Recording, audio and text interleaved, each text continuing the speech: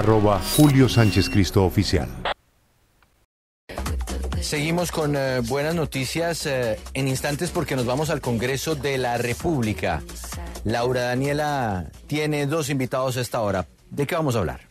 Juan Pablo, pues vamos al Congreso porque a propósito de la participación de Colombia en los Juegos Olímpicos, en el Congreso han denunciado un recorte en el presupuesto destinado para el deporte en Colombia para el 2025.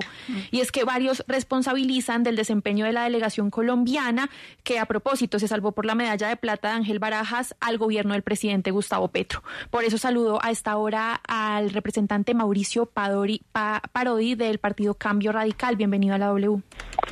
Eh, buen día, Laura Daniel. Un saludo a ti, a Juan Pablo y a todos los oyentes. Y también nos conectamos hasta ahora con el senador Ferney Silva del Pacto Histórico. Bienvenido a la W, senador. Eh, buena, buen día, Laura. Un saludo a todos los que nos están escuchando y a ustedes allá en la mesa. Representante Mauricio Parodi, usted ha venido denunciando esa reducción que tendría el deporte colombiano en el presupuesto para 2025. ¿De cuánto sería ese recorte y esto cómo afecta a nuestros deportistas?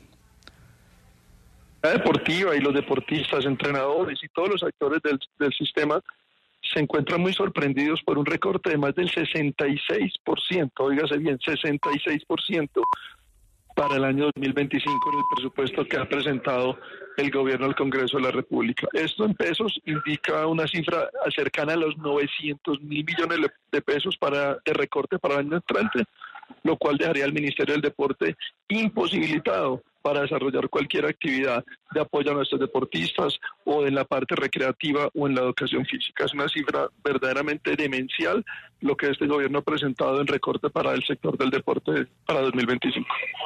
Sí, senador Ferney Silva, usted nos decía antes de tener esta llamada al aire que ese recorte es necesario, casi que es impostergable. ¿Por qué, senador? Lo primero que hay que decir es que eh, el Ministerio del Deporte, como todos los eh, ministerios que tienen con corte social son supremamente importantes.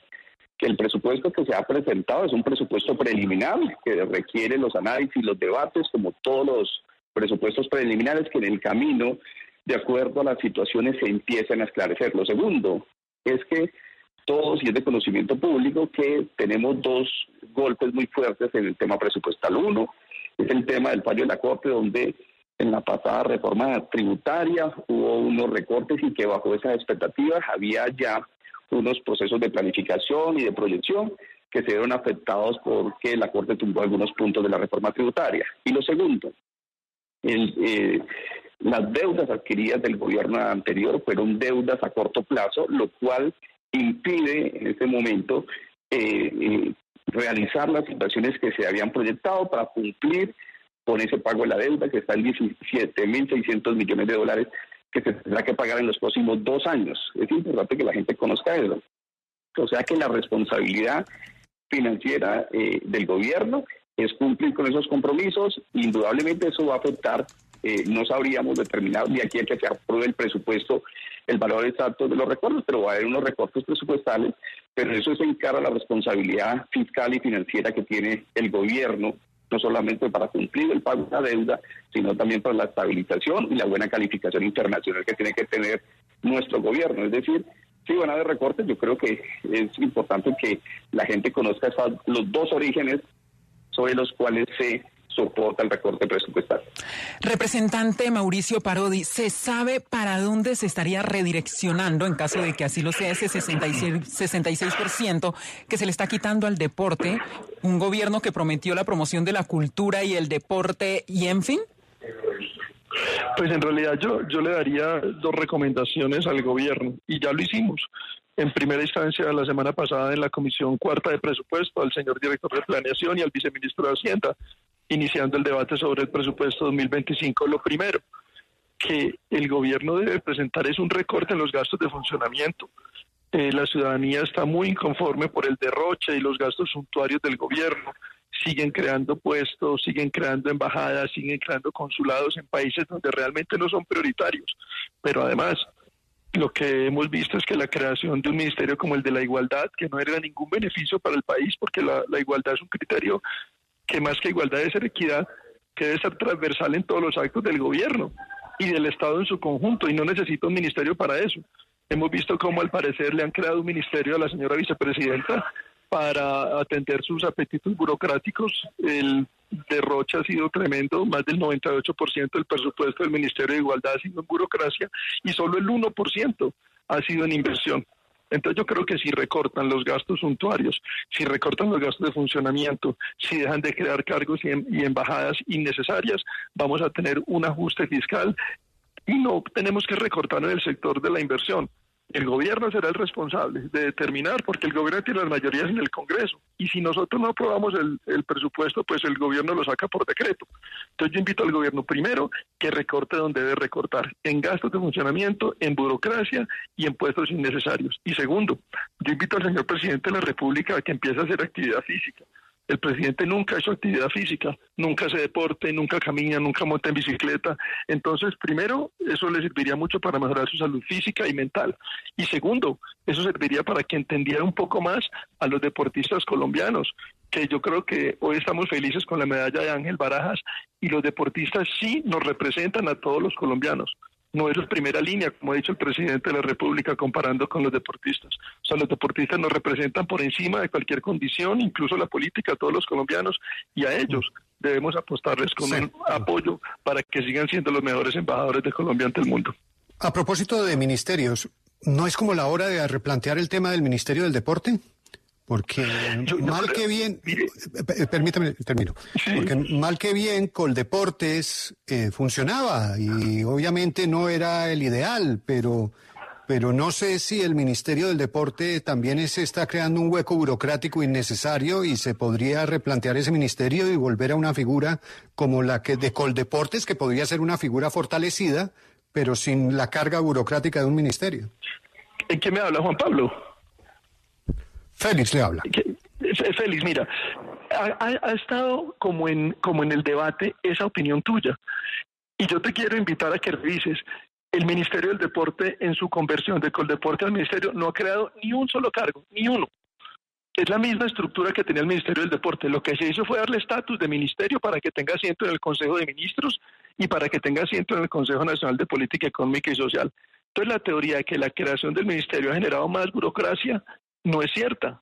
Esa teoría yo invito a que la revisen y que eh, con datos en la mano miremos. Ni el gobierno pasado ni este han creado ni un puesto más en el Ministerio del Deporte. Lo que pasa es que el presidente ha demostrado un desprecio hacia el sector. El presidente de la República como jefe de Estado lo dijo en la posesión de, de la señora ministra Luz Cristina. Dijo el ministerio, no entiendo para qué sirve. Si tú tienes un computador con de última generación, con inteligencia artificial, y no lo sabes manejar, pues a ti no te sirve. Entonces, al, el ministerio no le sirve a este presidente porque no reconoce el sector y porque desprecia a los deportistas. Pero es la misma estructura de, de, burocracia o de nómina que tenía el ministerio, el Ecoldeportes, la que tiene el Ministerio del Deporte. Entonces, la teoría de que se ha creado burocracia realmente no es cierta y lo que debemos seguir es haciendo inversión en directamente en nuestros deportistas. Sí, senador Ferney Silva, pues varios son los que piden replantear el Ministerio del Deporte. Ese debate tendré, tendrá que darlo el gobierno y el Congreso, pero yo le pregunto, el Ministerio del Deporte en este gobierno de todas formas, pues no se ha destacado. De hecho, han pasado tres ministras distintas por ese ministerio y hemos tenido escándalos como la pérdida de los Juegos Panamericanos, pero también una muy baja ejecución, por lo menos en la dirección de Luz Cristina López, que denuncian desde el Congreso solo ha sido del 0. 0.03%. ¿Usted eh, considera que quizás lo que pasa es que este gobierno no ha gestionado eh, como se debería los recursos que tiene el Ministerio del Deporte destinados? Eh, Laura, eh, quiero hacer mención a, tres cosas, incluyendo tu pregunta. La primera es que, eh, para recordarle al representante que Colombia es de los países con mayor desigualdad e injusticia social del mundo y de Latinoamérica. Es decir, el Ministerio de la Equidad surge por una necesidad de la situación. Es decir, tenemos que buscar medidas integrales para recortar esas brechas que hoy generan violencia y que eh, no nos permite a nosotros generar los escenarios, escenarios de paz. Es decir, el Ministerio de la Equidad surge por una necesidad que está plasmada en los estudios, no solamente colombianos, sino de, también de organismos internacionales. Los, lo segundo, Estoy de acuerdo cuando dice que el deporte trae, eh, trae salud, y es muy buena pues para, para, para todos los ámbitos físicos y mentales, pero es irrespetuoso insinuar que por ello el presidente no toma buenas decisiones. Hombre, ya quisiéramos tener la capacidad de leer el país como la tiene el presidente de la República, indiferentemente las diferentes posiciones ideológicas que podamos tener. Tercero, yo creo que el Ministerio del Deporte es necesario. Lo crearon hace, hace el periodo pasado.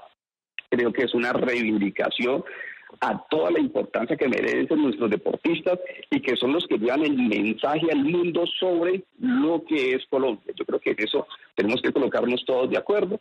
Y creo, indudablemente, que la política de un gobierno no se establece por los ministros, se establece por su plan de gobierno, en este caso es por su plan de desarrollo, y por establecer políticas que le permitan a esos gobiernos lograr sus objetivos. Es decir, tenemos nosotros que no debe cambiar la política de un gobierno por un cambio de ministro.